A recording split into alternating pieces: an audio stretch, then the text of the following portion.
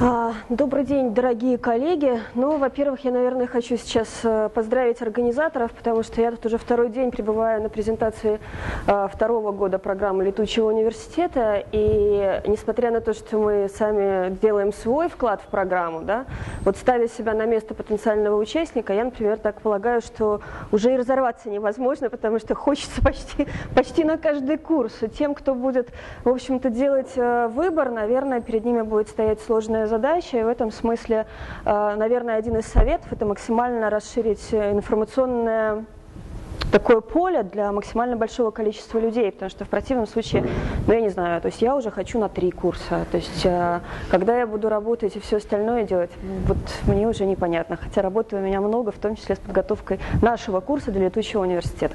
Сейчас я хотела бы э, остановиться, собственно, на презентации нашей школы, это школа по некоммерческому праву, и объяснить, почему Центр правовой трансформации, будучи правозащитной организацией, профессиональной организации, которая достаточно много делает э, работы, связанной с вопросами э, прав человека и э, правовой реформой потенциальной, почему э, мы, собственно говоря, в рамках летучего университета считаем необходимым делать курс некоммерческого права.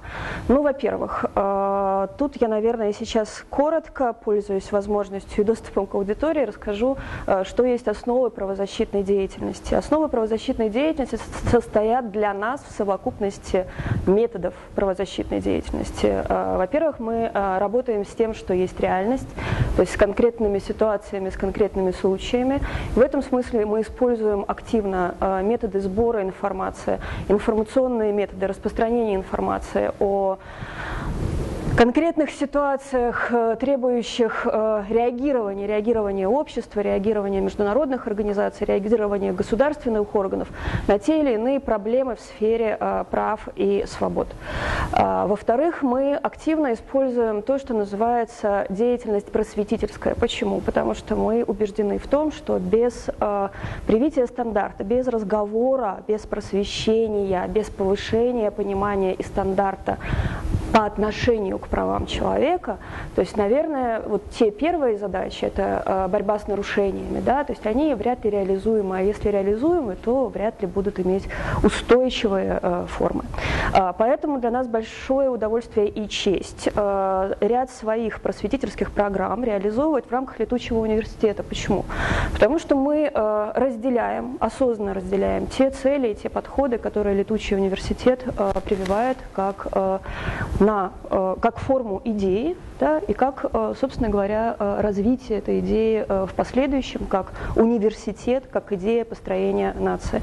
А почему мы считаем необходимым очень прикладной очень прикладной курс, э, повторю еще раз, это как-то даже не почетно по сравнению со всеми предыдущими вот, курсами, но тем не менее, очень прикладной курс по праву некоммерческих организаций предложить в рамках этой программы, э, делаем это по трем основным причинам. Причина первая, то есть мы считаем, что мы имеем на это право. Почему? Потому что на протяжении 16 лет наша правозащитная организация, несмотря на то, что ее там дважды ликвидировали в разных э, ситуациях, но тем не менее мы остаемся командой, командой, которая которая изначально, команда юристов в основном, которая изначально ставила перед собой э, такую задачу э, работать с гражданскими инициативами, работать с общественными активистами, с теми, кому нужна наша профессиональная юридическая помощь про бона, то есть бесплатно. Да?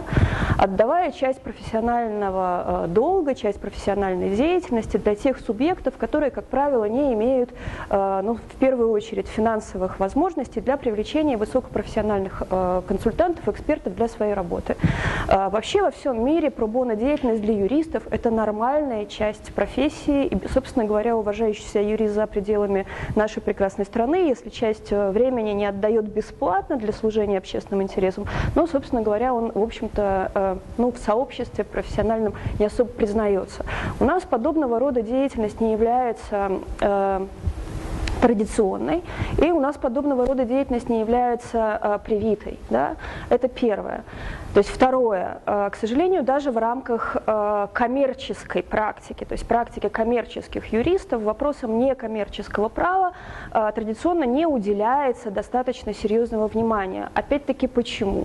Ну, потому что за этой услугой не всегда идут с деньгами, раз.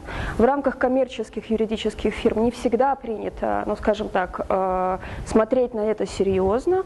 Ну а в-третьих, э, мы полагаем, что эта сфера правоотношений имеет э, целый спектр узких узких, э, не всегда интересных профессионалам, э, ну, скажем так, которые работают с широким спектром проблем, узких вопросов. Да?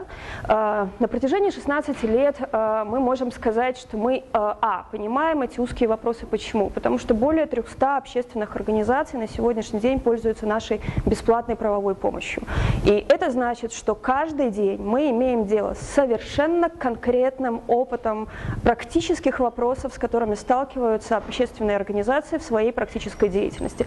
Далеко не всегда эти практические вопросы можно а, понять и найти на них там правовые ответы, если ты имеешь дело исключительно с материей анализа законодательства и других нормативных актов. Почему?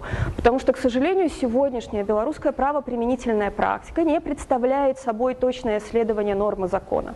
Например, если бы мы точно э, могли понимать, что правоприменительная практика работает с нормой закона, то мы не имели бы на сегодняшний день огромное количество количество ликвидированных правозащитных организаций, в частности, практически всех правозащитных организаций в этой стране. К примеру, правозащитного центра «Весна», который на протяжении там, шести лет пытается восстановить свой э, статус зарегистрированной организации. Да? То есть сегодня, к сожалению, белорусское правоприменение существенно отличается от того, что составляет классическое юридическое, э, как это правильно сказать, э, такое очень прикладное ремесленническое вот знание, да, а, и сегодня вот это вот ремесленническое знание, оно возможно только если ты очень четко понимаешь специфику деятельности, если ты работаешь с этими случаями каждый день.